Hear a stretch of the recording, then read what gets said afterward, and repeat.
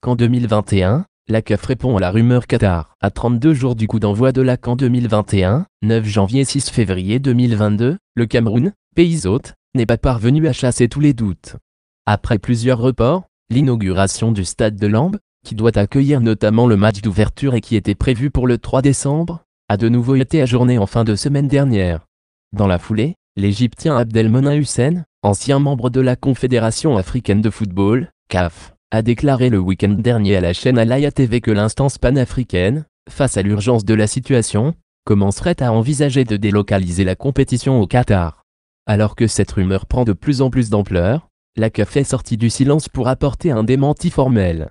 Nous ne pouvons pas passer notre temps à répondre aux rumeurs, a clarifié le directeur de la communication de la CAF, Alexandre Sio, ce mardi auprès de la BBC. Nous n'avons reçu aucun message ou information de nos dirigeants concernant un changement de date ou de pays.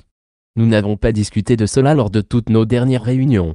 Mieux, le dirigeant assure que des membres de la CAF sont déjà à pied d'œuvre sur place au Cameroun. Nous sommes sur place. Nous travaillons. Une délégation officielle de la CAF a été détachée et le secrétaire général Véron Mozango nous rejoindra dans deux jours, a ajouté le Camerounais. Voilà qui devrait mettre un terme définitif aux rumeurs.